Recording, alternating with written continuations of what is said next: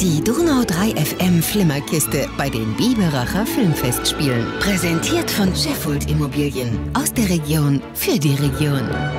Es ist Tag 4 unseres kleinen Podcasts hier aus dem ähm, ersten Stock im Traumpalast in Biberach. Wir sind in der Geschäftsstelle.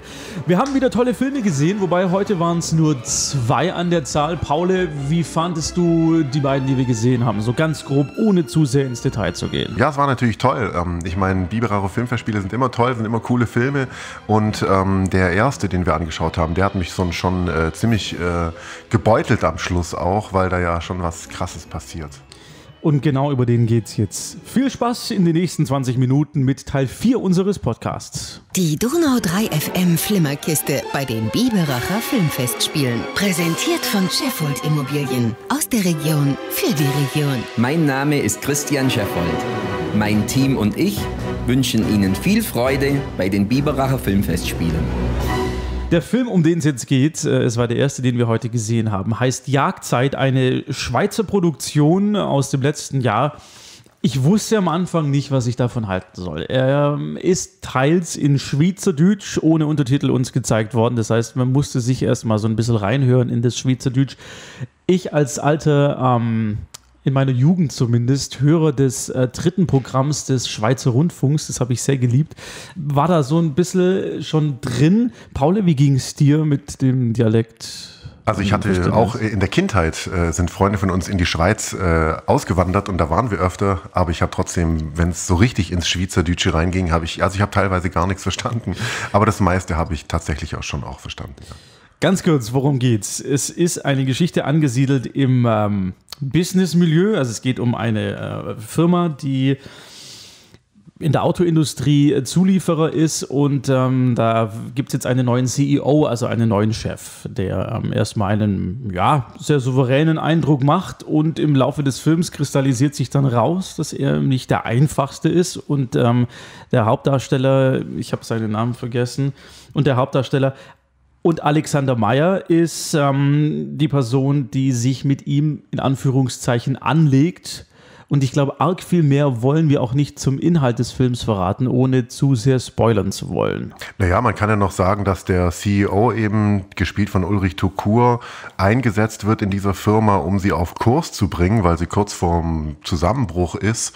Und der Alexander Meyer, gespielt von Stefan Kurt, derjenige ist in dieser Firma, der für die Finanzen zuständig ist. Also ähm, kämpfen die beiden eben im Laufe des Films miteinander. Die Frage, die sich mir die ganze Zeit gestellt hat, ist, warum heißt es Jagdzeit? Es gibt ein paar Szenen, man sieht ihn, also Alexander Meyer, wie er in seinem sehr, sehr schicken Haus im Keller eine riesen Leinwand hat. Da hat er ein Gewehr und es ist quasi so videospielmäßig aufgezogen, dass er auf Jagd geht. Er jagt Wildschweine. Es gibt dann auch später noch eine Szene, wo er äh, Fasanen jagt, dann in der Realität. Und das ist aber das Einzige, was mich am Anfang zumindest an den Titel erinnert hat. Und im Laufe des Films ist dann immer mehr klar geworden, worum es eigentlich geht, warum dieser Film diesen Titel hat. Und ich glaube, das kann man auch sagen. Auch wenn es ein kleiner Spoiler ist, natürlich jagt der eine den anderen und drängt ihn auch wie bei einem Tier in die Ecke. Und daraus resultiert dann ein, wie ich finde, sehr Unerwartetes, wobei in seiner Konsequenz dann doch erwartbares und auch schockierendes Ende. Wir wollen jetzt nicht sagen, wie es ausgeht, aber ich glaube, wir können trotzdem so ein bisschen analysieren, wie er uns gefallen hat, ohne genau zu sagen, was am Ende passiert. Also für mich hat es eine ganze Weile gedauert, bis der Film mich äh, gepackt hat, so, weil das dauert sehr lange, bis mhm. ähm, die Figuren vorgestellt werden, ähm, bis man die irgendwie besser versteht, die Familie von dem einen, wie die sich dann auch treffen. Ähm, das hat mich dann fast schon gelangweilt, aber ähm, dann hat er genau in dem Moment den Bogen bekommen und wurde immer spannender und, äh, und es wurde alles immer enger. Deswegen nicht der beste Film, den ich jetzt bei den Biberacher Filmverspielen mhm. gesehen habe, aber trotzdem absolut äh, zu empfehlen. Sollte, sollte man sich schon anschauen, ähm, vor allem weil er ja auch aus einer Mischung von wahren verschiedenen wahren Begebenheiten aus der Finanzwelt äh, zusammengeschustert wurde. Also es hätte genau so, wie es da passiert, passieren können. Und es passiert auch wahrscheinlich jetzt im Moment und überall auf der ganzen Welt genau so, weil wir sind ja in einer total kapitalistischen ähm, Welt, wo das Geld regiert. Und äh, Humanismus, wie sagt er so schön in dem Film, Humanismus äh, ist ja was Altmodisches. für mich, auch im Nachgespräch jetzt gerade noch mit, äh, mit einer Kollegin hinter den Kulissen, die den Film auch gesehen hat und die ihn jetzt nicht ganz so prickelnd fand, eigentlich glaube ich wahrscheinlich eher so wie du, Paule, wobei ich ihn ein bisschen besser fand als ihr beide. Sie hat gemeint, ihr ist dieses Thema, die Finanzwelt war ihr jetzt nicht so nah und deswegen hatte sie nicht so den Zugang zu diesem Film gefunden. Wobei für mich diese, diese Welt der Finanzen eigentlich nur ein Sinnbild ist für, für, das ist in jedem Bereich, glaube ich, in jedem Beruf wäre so etwas möglich. Es geht um Druck, es geht um das Aushalten von Druck von oben und wie jeder Einzelne damit umgeht. Es geht um die Balance, die viel zitierte Work-Life-Balance, also die Balance aus Arbeitsleben und Freizeit bzw. Familie. Und wenn die ins Ungleichgewicht kommt, zu welch ja doch krassen Konsequenzen der Mensch eigentlich äh, fähig ist. Und ich finde, hat, der Film hat es ganz, ganz toll bis zur letzten Konsequenz ausgespielt. Ähm, man sieht auch die Nachwirkungen, die das Verhalten von beiden ja hat. Also sowohl des Chefs als auch Alexander Meyer in Anführungszeichen des Untergebenen. Und deswegen, und je länger ich drüber nachdenke, auch über diesen Film, und je mehr ich ähm, ihn für mich auch so ein bisschen begreiflich mache, desto besser gefällt er mir eigentlich. Ich sage ja auch nicht, dass ich ihn schlecht finde. Es hat nur lange gedauert, bis er mich gepackt ja, hat. Ja. Bei dir ging das schneller, oder? Am Anfang ist es vergeht viel Zeit, weil ich nicht wusste, wie gesagt, was auf mich zukommt, in welche Richtung es geht und ob es dann eher in die Action-Richtung geht. Es ist ein, eigentlich ein richtig klassischer Psychothriller, also im besten Sinne des Wortes geht er an die Psyche nicht nur der Menschen, die ihn schauen, sondern auch der Personen, die im Film dann agieren. Und deswegen fand ich ihn ganz, ganz toll und hat fast schon so was Hitchcockeskes gehabt, dass er so die, die Spannungsschraube so langsam andreht und man dann erst am Ende merkt, dass die Finger eigentlich völlig fast schon blutig zerquetscht sind. Und das fand ich sehr, sehr schön und ich fand, der Film hat es ganz, ganz toll gemacht, was auch zeigt, dass, ähm, und das wurde dann auch im Publikumsgespräch gesagt, wenn man mal die Schweizer Filmszene ein bisschen auch beobachtet und unter die Lupe nimmt, dass da ganz viel Tolles kommt, was aber leider, leider zu uns nie so wirklich rüberschwappt. Also ich hätte mir den Film auch nie angeguckt, ganz ehrlich. Umso besser jetzt, dass wir da auch erfahren haben, dass es einen Verleih gibt, der gerade mit äh, einem einen Vertrieb gibt, der gerade mit einem deutschen Verleih im Gespräch ist. Wer weiß, vielleicht läuft er dann doch noch auch bei uns irgendwann im Kino, wenn sie denn wieder aufmachen. Ähm, was ich auch noch sagen wollte ist, was ich ja ganz cool finde, ist ja, dass ähm, die Helga Reichert, die Intendantin das ganze Filmfest weiblicher macht, was ich mhm. ja spannend finde. Und auch hier hat die Regie Sabine Boss geführt, also ist ein Film von einer Frau. Irgendwie ist es ja schade, dass man sowas immer wieder betonen muss, aber irgendwie ist es ja trotzdem auch noch wichtig, dass man das betonen sollte, wenn es denn so ist, weil es ist ja nicht alltäglich, da hatte ich mich äh, kurzer Abschweifer zu Vatersland, auch mit der Regisseurin von Vatersland unterhalten. Die hat gesagt, auf den Filmschulen sind äh, über 50 Prozent der Studierenden sind Frauen. Aber am Ende am Set und im Business äh, sind es kaum welche. Mich hätte dann auch noch interessiert, wie der Film wohl ausgesehen hätte, wenn ein Mann Regie geführt hätte. Also wäre da wäre da was anderes bei rausgekommen, wäre der Fokus auf anderen Punkten dieses gesamten Falls gelegen oder nicht. Ich meine, das ist hätte, könnte, sollte jetzt, aber trotz allem ist es gut, dass du es ansprichst, weil es tatsächlich, wenn man drüber nachdenkt, dass das eine Frau quasi in ihren Händen hatte und geformt hat, dieses Thema, noch ein bisschen interessanter zu sehen, weil es natürlich das Duell zwischen zwei Männern ist und nicht zwischen Mann und Frau. Das Buch haben ja auch die, Sabine Boss hat am Buch mitgeschrieben, zusammen mit Simone Schmid und Norbert Maas, also zwei Frauen, ein Mann, ist tatsächlich sehr interessant. Ich finde auch, dass der Film eigentlich auch das Kaliber hat, um, ähm, das machen die Amerikaner ja gerne, um sich von der US-Filmindustrie mhm. geschnappt zu werden und dort zu verfilmen mit äh, Michael Douglas und, sag noch mal jemanden. Oh, in seinem Alter, wer könnte da ebenbürtig sein? Irgendwie John Voight oder irgend sowas. Oh ja, ja. das, uiuiui. Ja. So eine Art von Film ist das ja eigentlich und da würde wahrscheinlich dann ein Mann äh, Regie führen. Und ich glaube, allein wenn wir uns vorstellen würden, wie der als Hollywood-Film aussehen mhm. würde, dann würden wir wissen, wie er aussehen würde, wenn es ein Mann macht. Absolut, absolut. Ja. Ist, ist auch, finde ich, der mainstreamigste Film, den wir gesehen haben in den letzten Tagen. Also er ist am unspeziellsten, am universellsten eigentlich, wobei Vatersland auch noch sehr universell ist, was, die, mhm. was das Thema angeht. Naja, eigene Vergangenheit, Vergangenheit der Familie ist halt auch jeder. Okay. Aber so von der Darstellung her fand ich den, fand ich den schon sehr, sehr gut. Ja. Wir würden sagen, okay. Ja, ist, äh, auf jeden Fall. Also ich würde sogar sagen, sehr okay. Und was mir auch noch gerade einfällt, ist, dass das hier der klassische Beweis dafür ist, dass wir keine Karten mehr bekommen haben für einen anderen Film und sind dann in den hier reingegangen. Und das ja. sind die Biberacher Filmverspiele. Ja wenn Sie keine Karten für den Film bekommen, den Sie sehen wollen, dann gehen Sie in einen anderen, Sie machen nichts falsch. ja, ist, ist so. trotzdem gut. Jetzt geht es weiter mit einem Interview, was wir mit unserem Sponsor geführt haben, denn wir würden nicht hier sitzen, wenn Christian Scheffold von Scheffold Immobilien in Laubheim uns nicht etwas Geld geben würde. Ich habe mich mit Christian darüber unterhalten, inwiefern er auch mit seinen Kindern und seiner Familie eben schon, äh, er hat zwei sehr kleine Kinder, aber dieses Thema Film und, und Serien und ähm, Fernsehen, Medien insgesamt angeht und welche Gefahren da auch als junger Vater mit noch jüngeren Kindern lauern. Also es ist tatsächlich so, wir haben das Thema äh, sowohl Pepper Woods, ähm, aber noch mehr Paw Patrol, weil das tatsächlich momentan richtig in ist, selber natürlich auch mal angeschaut um mhm. Gespür dafür zu bekommen, äh, um was es denn dort geht und inwieweit äh, das, sage ich mal, auch äh, ähm, ja, verträglich ist fürs Kind. Mhm. Und ähm, deswegen, ja, so einmal pro Tag darf äh, in dem Fall die Paw Patrol nicht fehlen.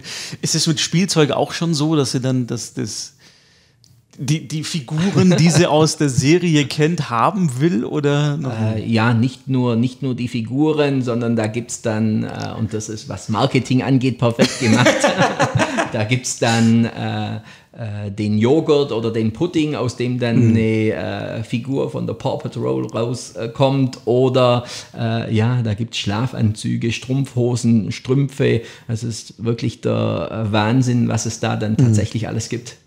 Klar, natürlich. Sie wollen natürlich ihre, ihre kleinen, in Anführungszeichen, Kunden, mhm. was wir ja mehr oder weniger alle sind oder alle mal waren. Ich erinnere mich an, als Jurassic Park rauskam.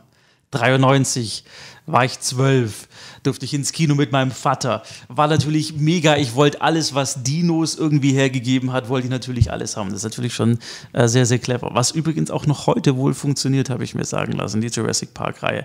Aber da steckt natürlich auch so eine gewisse Verantwortung für Eltern drin was lasse ich meine Kinder sehen, was biete ich meinen Kindern auch an, dass sie sehen können? Oder habt ihr euch da innerhalb der Familie auch schon Gedanken natürlich gemacht? Äh, ja, definitiv, weil wir selber auch im, im Freundeskreis feststellen, dass jeder mit dem Thema völlig unterschiedlich umgeht. Mhm. Ähm, wir persönlich finden es auch gut so, dass jeder für sich selber entscheiden kann, was äh, für sich beziehungsweise was auch für den Nachwuchs ähm, der richtige Weg ist. Ähm, wir, wir gehen das Thema offen, wir gehen es transparent an und, und trotzdem machen wir es genau so, wie wir es für richtig halten. Und das finde ich toll, dass jeder die Möglichkeit auch hat, selber dann für sich die Entscheidung treffen zu können. Ich meine, du kommst ja auch nicht mehr drum rum. Also das ist ja so, das Thema ist ja gegenwärtig, du hast vorhin schon gesagt, mit Smartphones, mit, mit iPad und so weiter. Das ist ja, die, die Kids sind ja, wachsen ja grundsätzlich damit auf. Deswegen heißen sie ja auch Digital Natives und wir eben nicht. Hm. Ja, auch das ist sehr spannend zu sehen, wie schnell äh, kleine Kinder ja, mit dem Thema Umgang Handy oder Umgang mhm. am, am, Tablet, äh, sage ich mal, affin sind. Ähm, das geht äh, unheimlich schnell. Vielleicht eben auch der Tatsache geschuldet, dass man wirklich von klein auf mit solchen Themen dann immer wieder Berührungspunkte mhm. hat.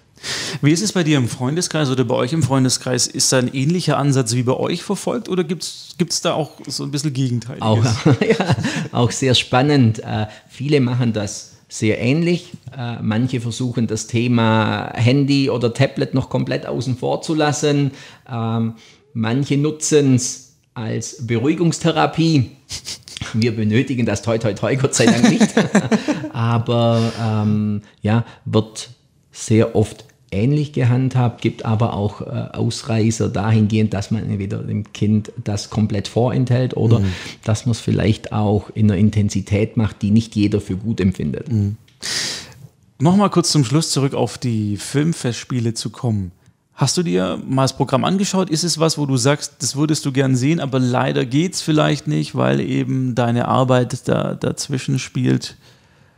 Ich glaube, Arbeit oder Zeit sollte nie sollte nie eine Ausrede sein, ähm, wenn, man, wenn man unbedingt was anschauen oder erleben möchte, ich glaube, dann findet man die Zeit dazu. Ja, mein Favorit, ich habe es eingangs schon angedeutet, äh, der Tatort. Das wäre mit Sicherheit einer äh, der Filme, den ich anschauen würde. Abseits von, von Film, du hast vorhin gesagt, Kultur ist, ist wichtig. Wie siehst du auch die letzten Monate, was da so passiert ist, auch in welche Richtung es, es jetzt unter Umständen gehen kann, was Kulturschaffende eben angeht? Bekommst du da was mit, auch vielleicht über Freunde? Ja, sowohl über Freunde, ganz viel natürlich auch über Kunden, mhm. ähm, die zum Beispiel im Ehrenamt äh, tätig sind. Und natürlich klar, Thema Medien bekommt man ja auch viel mit, was äh, der Pandemie alles dieses Jahr zum Opfer gefallen ist, beziehungsweise wie viele Veranstaltungen nicht wie ursprünglich geplant durchgeführt werden können. Schützenfest in Biberach, mhm. Heimatfest in Laubheim, ja, ja, ja. Ähm, Weihnachtsmärkte, die abgesagt werden müssen. Das ist natürlich unglaublich schade, dass im, im Rahmen dieser Pandemie so viele Dinge ähm, ja, der Pandemie zum Opfer fallen. Mhm. Umso schöner, äh, natürlich, dass man für die Bibracher Filmfestspiele nach einem äh, Weg gesucht hat, um sie auch dieses Jahr stattfinden zu lassen. Und darum war es auch für uns an der Stelle selbstverständlich, dass wir für uns gesagt haben, wir unterstützen, wenn wir gebraucht werden. Wunderbar. Christian Scheffold, äh, vielen Dank, das war's schon. Sehr gerne. Oder hast du noch was, was du unbedingt loswerden willst, wo du sagst, das ist ein bisschen untergegangen oder der Punkt wäre noch ein bisschen vertiefenswert? So spontan würde mir eine, äh, eine Kleinigkeit auf jeden Fall einfallen, weil ich während dem Gespräch auch schon angedeutet habe, dass wir gerne zum einen kulturelle Veranstaltungen, zum anderen auch äh, Themen wie Vereine, Kindergärten und mhm. Schulen gerne unterstützen. Das machen wir nicht erst äh, seit dieses Jahr im, im, Bezug auf das Thema Pandemie, sondern auch schon in den Jahren äh, davor, dass wir gerne ähm, Vereine, Institutionen unterstützen, wenn Hilfe gebraucht wird. Ähm, wir haben dieses Jahr in dem Fall auch schon den einen oder anderen in Form von Spenden unterstützt. Ähm, und wenn einer ja da draußen einen Tipp hat oder sagt, wir haben einen Verein, ja. der könnte Unterstützung benötigen, äh, dann darf er sehr gerne auf uns zukommen und dann schauen wir, was wir im Rahmen unserer Möglichkeiten dann äh, ähm, an Unterstützung erbringen können. Super. Sagst du noch mal kurz die Website für alle, die dies im Internet suchen? Jawohl, www.scheffold-immobilien.de. Vielen Dank, Christian Scheffold. Ja, wer macht eigentlich diese ganzen Filme online ähm, für die Biberacher Filmfestspiele? Wer macht die ganzen Social-Media-Sachen? Wer hat jetzt ähm, mehrfach doppelt und dreifach Arbeit, weil die Abschlussveranstaltung, die große Gala ja auch als Video laufen wird. Das ist Eki Deal von Elan Film. Du bist mit deiner Firma Elan Film auch so eine Art äh, Ein-Mann-Armee. Ähm, du machst es ja nicht zum ersten Mal. Ähm, Eki Deal, wie lange bist du schon bei den Filmfestspielen dabei?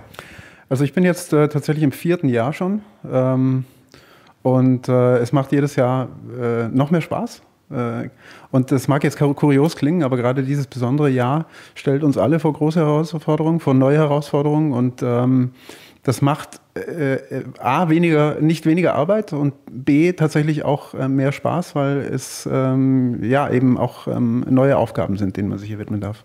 Du bist auch so ein Schaffer, du brauchst äh, Stress, du brauchst auch, also es muss was gehen, du bist keiner, der irgendwie nur rumsitzt, weil immer wenn wir hier oben im Büro sind, wo wir ja auch unser Studio aufgebaut haben, sitzt Ecki da und schneidet irgendwas. Also du bist äh, so ein, so ein, so ein Duracell-Häschen, oder?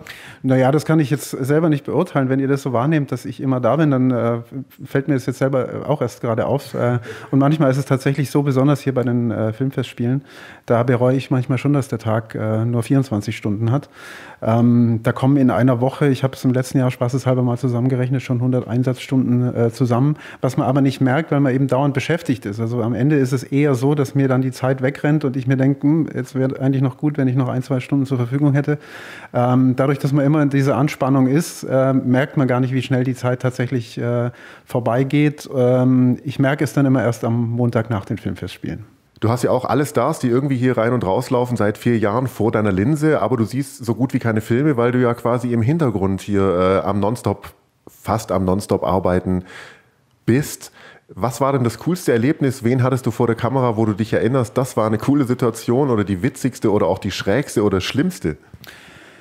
Ja, also nochmal kurz zum ersten ähm, Fragenteil. Es ist tatsächlich so, dass äh, das geht nicht nur darum, dass ich keine Zeit habe, die Filme anzuschauen, sondern äh, mir fehlt dazu auch die notwendige ähm, Ruhe dafür. Also selbst wenn ich die Zeit äh, zwischendrin hätte, ähm, habe ich es doch ganz gerne, wenn ich ein paar Minuten äh, mal für mich habe und ich könnte mich auch auf einen Film gar nicht, gar nicht einlassen, selbst wenn die Zeit dazu da wäre.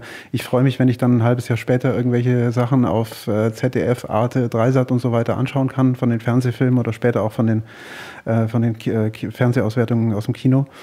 Ähm, die coolsten Erlebnisse, es ist eigentlich alles, also das, was, was mich am meisten fasziniert, ist, wenn dann äh, die äh, Andreas Hoppes und Mathieu Carriers dieser Welt dann plötzlich vor dir sitzen, die du nur aus irgendwelchen Tatorten oder Fernsehfilmen kennst, ähm, die dann äh, super nett sind, super unkompliziert sind. Also ich sage jetzt mal, äh, in meinem Eindruck, der ist natürlich sehr subjektiv, ähm, je bekannter, desto, desto unkomplizierter meistens. Also gestern kam... Ähm, Herr Koslik, der ja 19 Jahre die Berlinale geleitet hat, der kam hier hoch und äh, hat sich selbst vorgestellt und hat da mit uns äh, gequatscht, als wenn wir beide uns hier unterhalten. Ähm, das fällt mir schon auf. Ähm, Kuriositäten gibt es da so viele, dass mir die jetzt äh, spontan äh, gar, nicht, äh, gar nicht einfallen. Aber was mir äh, eben gefällt, ist dieses familiäre und dieses Unkomplizierte, was eben auch von diesen vermeintlichen Stars auch so gelebt und auch wiedergegeben wird. Also ich empfinde hier überhaupt keine Affektiertheit oder Arroganz äh, uns oder dem, dem Festival oder auch vor allem dem Publikum gegenüber. Deswegen ist es auch das Familientreffen deutscher Filmemacher, weil die sind ja wie so eine große Familie. Ne? Man trifft sich für ein Projekt, dann geht man auseinander, trifft sich vielleicht für ein zweites, aber man bleibt immer irgendwie verbunden. Jetzt hast du selber auch eine Filmproduktion. Du bist spezialisiert auf Werbefilme, ne? Ähm, also du machst so Clips fürs Internet, fürs Kino, fürs Fernsehen. Machst du auch irgendwie Dokumentation oder kommt von dir vielleicht auch nochmal ein Spielfilm? Wie sieht es denn da eigentlich bei dir selbst aus?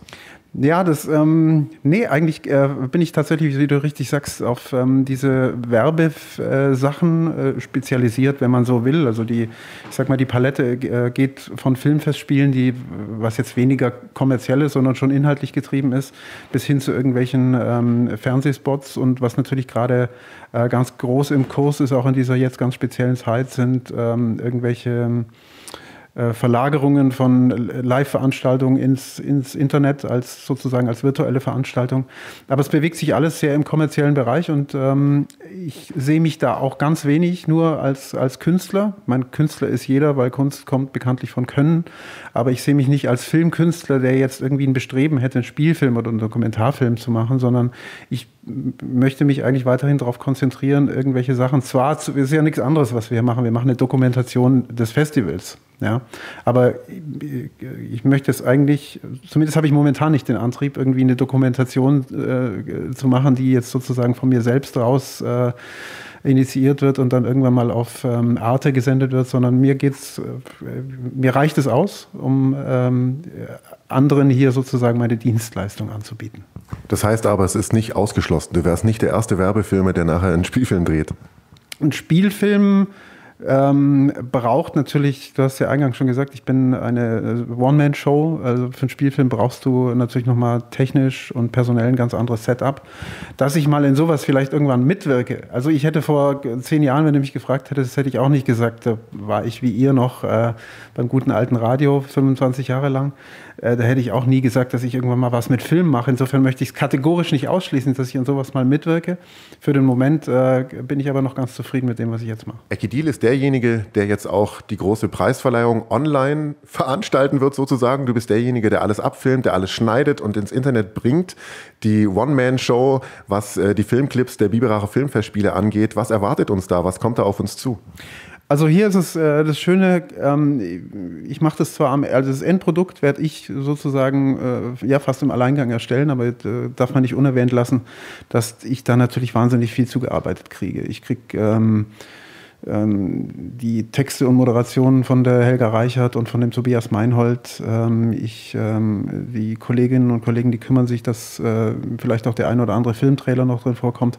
Das Ganze wird, äh, ist, wird bei mir sozusagen nur gebündelt und kanalisiert und äh, ich bin dann derjenige, der am Schluss verantwortlich dafür ist, dass das ganze Ding dann um 19 Uhr tatsächlich hoffentlich über den Äther oder übers Internet übertragen wird. Ähm, ja, was erwartet uns? Also wir haben gesagt, wir versuchen möglichst eine Preisverleihung ähm, zu virtualisieren, ähm, nicht im Sinne einer Live-Übertragung. Das hat einen ganz einfachen Grund, weil ähm, man dafür eigentlich eine ganz andere Technik braucht, um den Qualitätsanspruch zu gewährleisten, den wir hier als Filmfestspiele haben. Ähm, deswegen ist eine Vorauszeichnung immer schöner, weil ich von vornherein steuern kann, ähm, wie, die, wie die Sachen laufen und dass es wirklich auch alles sauber ist, ähm, möglichst wenig äh, Versprecher und technische Pannen passieren. Ähm, das heißt, wir bringen das Ganze in, äh, nicht in eine Live-Atmosphäre, sondern eher in eine Studio-Atmosphäre, weil wir uns auch dagegen entschieden haben, das in, in der Stadthalle zu machen, wo es ja originär stattgefunden hätte.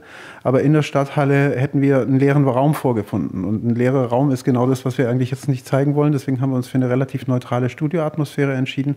Versuchen das Ganze aber mit so dem einen oder anderen unterhaltsamen Element doch ein bisschen ähm, noch aufzulockern, sodass am Ende äh, des morgigen Abends schon eine, ich würde jetzt mal vorsichtig schätzen, knapp einstündige ähm, äh, Sendung über das Internet übertragen wird, die äh, im Wesentlichen die Preisträger verkündet, aber für den einen oder anderen auch so ein bisschen erahnen lässt, wie so eine Preisverleihung auf der Livebühne normalerweise stattfindet.